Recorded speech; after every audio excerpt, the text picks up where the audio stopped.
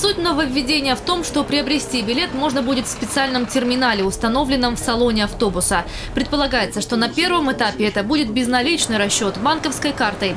Если же эксперимент признают удачным, то в последующем электронный кондуктор станет выдавать билеты и за обычные деньги. Принимать их по-прежнему будет водитель. В мэрии уверены, что новая система оплаты проезда сделает максимально прозрачные финансовые потоки в системе пассажирских перевозок. Система это даст нам возможность увидеть, сколько реально перевозят наши муниципальные предприятия пассажиров. Система даст нам возможность увидеть, э, сколько льготников перевозят наши автобусы. И в итоге мы будем знать, сколько же денежных средств реально собирают наши транспортные предприятия. Касается льготных категорий пассажиров, то они после того, как предъявят водителю удостоверение, смогут получить так называемый нулевой билет.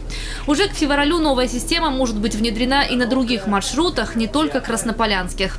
Но в перспективе власти Сочи намерены ввести единую курортную карту, которой можно расплатиться не только в общественном транспорте, но и, к примеру, в кафе и ресторанах.